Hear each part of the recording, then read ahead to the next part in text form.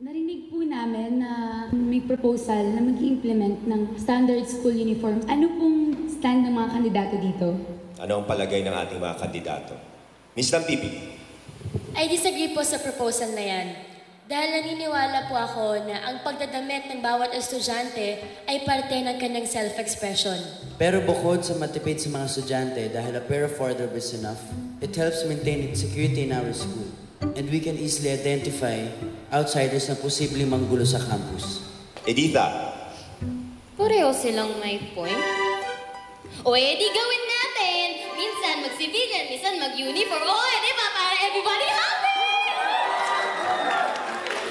Sabi sa handbook, if you get pregnant, pwede kang mag-kick out sa school.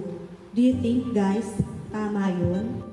Miss Editha, Tama po. That's all. Thank you. Wala po akong sagot kung tama o mali, pero may dahilan po yan kung bakit nandyan po yun sa handbook. Para po sa akin, kailangan mapalitan ang school policy na yan. Oo, mali siya. Pero bakit kailangan pa natin siya parusahan sa pamamagitan ng pag-aalis na kanya ng karapatan na makapag-aral?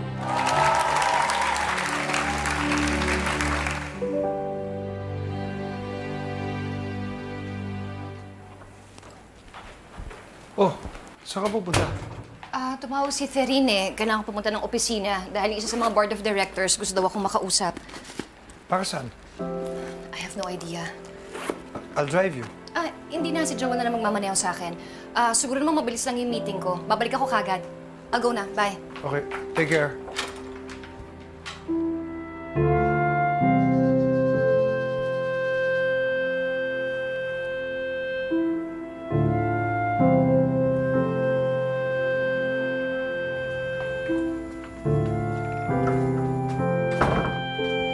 Joel, Joel! Hello, Gigi. Magkita tayo. Sinasabi ko lang, nagiging distraction ng smartphone sa klase. Dahil kung nagbasa ka bago ang klase, nandun na lahat ng reference na kailangan mo. Pero Mr. Mansala, hindi naman po kaming lahat ay kasing galing yung mag-memorize. Meron tayong technology available, so bakit di natin to gamitin to facilitate learning? Parang pinopromote mo naman ang pagiging irresponsable. Hindi na tayo maghahanda bago pumasok. Dahil anytime kailangan natin ng sagot, kukunin na lang natin sa smartphone. Mr. Manansala, hindi ko naman dito sinasabi ang pagiging irresponsible. Ang sinasabi ko lang po ay nagkataon lang po siguro na ang iba sa atin ay meron din ibang responsibilidad pagkatapos sa kanilang eskwelahan.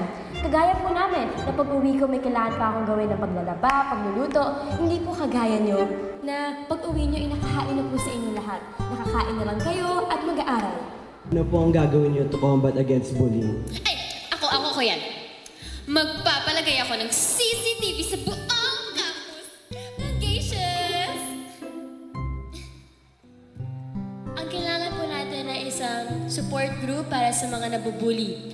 Gagawa po ako ng isang committee para mapakinggan ang mga hinaing ng mga nabubuli. Pero bakit hindi rin natin pakinggan ang mga nambubuli? According to studies, bullies are more often a case of a person acting out because of deep-rooted psychological issues. Kailangan din silang madinig.